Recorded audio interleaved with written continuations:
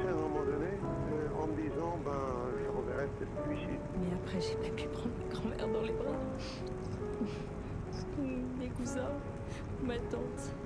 Et de voir la douleur dans les yeux des...